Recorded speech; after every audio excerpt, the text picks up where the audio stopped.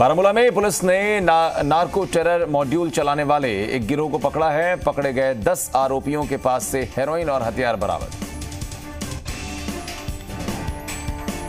UP में योगी का operation Rohingya लगातार जारी अलीगढ़ मेरठ से चार रोहिंग्या मुसलमान गिरफ़्तार।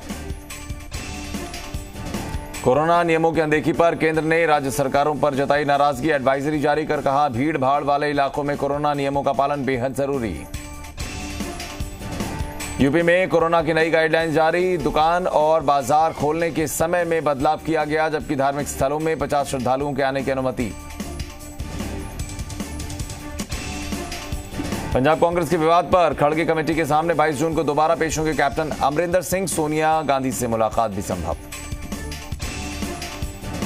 दिल्ली एनसीआर में ऑनलाइन कॉल गर्ल की सप्लाई करने वाले गिरोह का पर्दाफाश। दो आरोपियों को एंटी ट्रैफिकिंग ह्यूमन यूनिट की तरफ़ से गिरफ़्तार किया गया। दिल्ली में स्पुतनिक वैक्सीन लगाने की तारीख में बदलाव, अब 29 जून को मधुकर रेनबो चिल्ड्रंस हॉस्पिटल में लगाई जाएगी स्पुतनिक वैक्सीन। उत्तराखंड से बंगाल तक बारिश और बाढ़ से हाहाकार, पहाड़ों पर लैंडस्लाइड ने बढ़ाई मुसीबत। आईटी कंपनी विप्रो ने 2021 में दूसरी बार बढ़ाई सैलरी कंपनी के 80 प्रतिशत कर्मचारियों को मिलेगा बढ़ोतरी का फ़ायदा। जनवरी में भी किया गया था इंक्रीमेंट।